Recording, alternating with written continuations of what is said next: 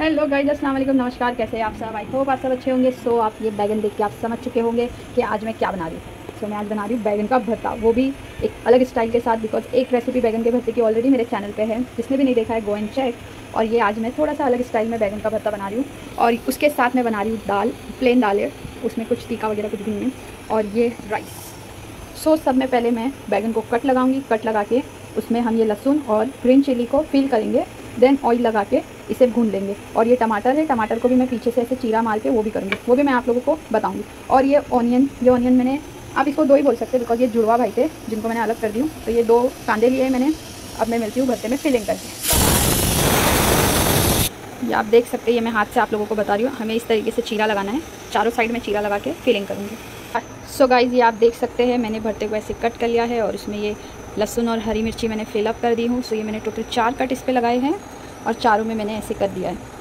Same तीन तीन लहसुन और एक एक हरी मिर्ची कट की हूँ, डाली हूँ और ये मैंने टोमेटो लिए थे टोमेटो को भी मैंने इस तरीके से चीरा लगाया है। सो ये मैंने सामने से नहीं लगाया जस्ट पीछे से, ताकि जब ये भूने तो वो उसके बाद वो उसकी स्किन खुद ही निकाल दे। सो इसके बाद नेक्स्ट स्टेप है ऑयलिंग सो अभी मैं इसकी हेल्प से अच्छी तरीके से ऑयलिंग कर लूँगी, ताकि ये आसानी से कहीं पे भी बर्तन पे ऐसे चिपके ना, कुछ भी नहीं। सो मिलते हैं कि मैं इसको भूनती कैसे हूँ। सो सो ये रहा वो बर्तन जिस पे हम भूनने वाले हैं। मैंने बर्तन को इस पर रख दिया है। और ये जो हमारा अभी भरता है, मैं इसे टर्न बाई टर्न करते हुए अच्छी तरीके से भून लूँगी। साथ ही में हम इस पर टमाटोज़ भी रख देंगे के साथ साथ टमाटोज़ भी हो जाएँ। हमें इसे टर्न करते करते भून लेना है।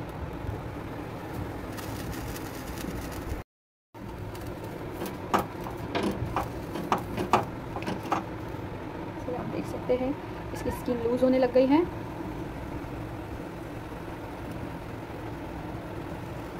टमाटोज को भी मैं जस्ट ऐसे से करूँगी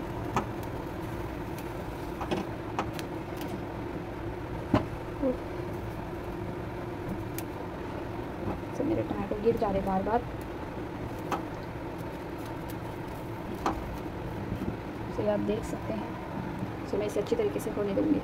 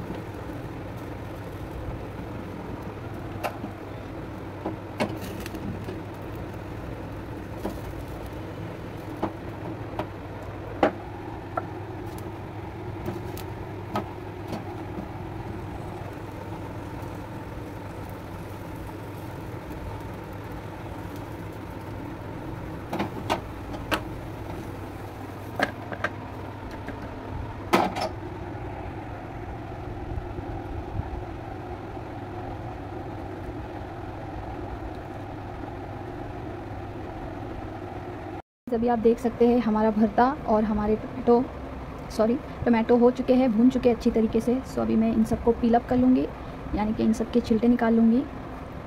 सो ये अभी बहुत गर्म है और गर्मा गर्म में ही अच्छी तरीके से निकलेगा। सो मैं स्लोली स्लोली इन सब के छिलटे निकाल लूँगी। और सेम इसी तरह हम टोमेटो के तो टोमेटोज़ के तो ईज़िली निकल जाएँगे बिकॉज़ टोमेटो थोड़ा ही गर्म होता नहीं है तो उसकी स्किन लूज़ हो जाती है। सो इसमें हमें कुछ ज़्यादा करने की ज़रूरत नहीं है। सो मैं मिलती हूँ इन सबको पिल आउट कर देती हूँ। बाय ये आप देख सकते हैं, मैंने बैगन को अच्छी तरीके से पिल आउट कर दी हूँ और इसको भी टमाटो को भी कर दी हूँ और ये हमारे जो ऑनियन थे और ये मैंने एक अदद अदरक ले ली हूँ, इसको भी बारीक बारीक चॉप कर लूँगी और हम इस ऑनियन को भी बारीक बारीक सा चॉप कर लेंगे। देन हम बैगन और टमाटो को चॉप करेंगे। सो so गाइज़ ये आप देख सकते हैं, ये मेरी अदरक को मैंने बारीक बारीक काट दिया और ये कांदे को भी और ये मैंने ये बाउल लिया है। और ये भरते को भी मैंने चॉप कर लिया है और ये टमाटो को भी।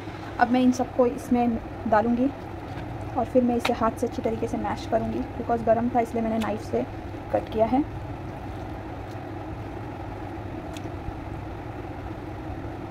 टमाटो को भी हम इसमें ऐड करेंगे।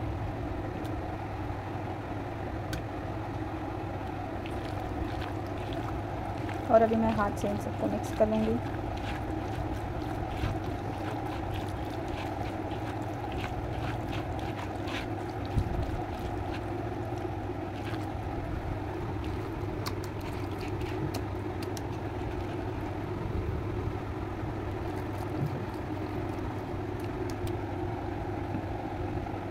और अब हम इसमें डालेंगे हमारे चॉप किया हुआ ओनियन और अदरक। ये जो थोड़ा सा यहाँ पे रह गया है बिकॉज़ ऑयल की वजह से, वो भी मैं इससे हाथ से ऐसे ले लूँगी और फिर इसे भी अच्छी तरीके से मिक्स करेंगे।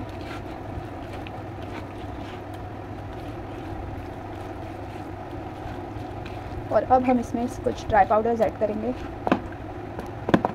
सबसे पहले हम हाथ धो लेंगे हाथ के सो ये सब में पहले हम इसमें ऐड करेंगे नमक, वो भी हसबे जायका सो ये मैंने पौना चम्मच नमक लिया है। आप आपके हिसाब से लीजिए, आपके टेस्ट के हिसाब से। Half teaspoon red chilli and one teaspoon धनिया पाउडर हल्दी का इस्तेमाल हम नहीं करेंगे। और ये मैंने ले लिया एवरेस्ट का गरम मसाला। ये भी हाफ़ टी स्पून के जितना ही इसमें हम ऐड करेंगे। तो ये मैंने लिया है एवरेस्ट का चाट मसाला।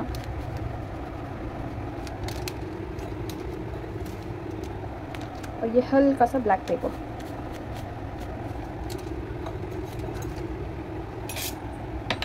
और ये मैंने बारीक बारीक सी कोतमीर कट करके रखी हूँ। अब हमें कोतमीर को स्प्रिंकल करना है। देन हम इसे अच्छी तरीके से मिक्स कर लेंगे। अप से डाउन डाउन से अप सो so, ये थी मेरे भरते की रेसिपी वो भी मैंने कुछ यूनिक स्टाइल में बनाया है। आई होप आप लोगों को पसंद आई होगी। और ये लास्ट में हम इसमें ऐड करेंगे ऑयल सो ये मैंने दो बड़े चम्मच जितना ऑयल इसमें डाली हूँ। ये नॉर्मल तेल था। आप चाहे तो इसे राई के तेल में, सरसों के तेल में भी बना सकते हैं। इसका फ्लेवर और अच्छा आएगा।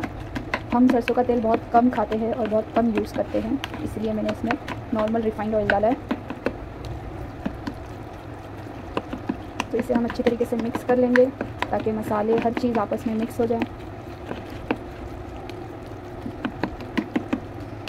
सो so, ये थी मेरी बैगन भरते की न्यू रेसिपी आई होप आप लोगों को अच्छी लगी हो। लाइक कीजिए शेयर कीजिए और मुझे डिस्क्रिप्शन बॉक्स में ज़रूर बताइए कि आपको मेरी भरते की रेसिपी कैसी लगी। है ना झटपट सी रेसिपी और हमें ज़्यादा किचन पे खड़े भी नहीं होना पड़ा और झटपट से बन भी गई और किचन से छुट्टी भी मिल गई। Bye bye see in the next video subscribe कीजिए मेरे चैनल को। So guys this is my final look my plate so मैंने इस यूनिक भरते को मैंने सर्व की हूँ दाल, रोटी, चावल के साथ। और ये अब मैं खा के आपको कल बताऊँगी कि रिस्पॉन्स कैसा था। वैसे खुशबू तो बहुत अच्छी आ रही है, आप लोग भी ट्राई कीजिए।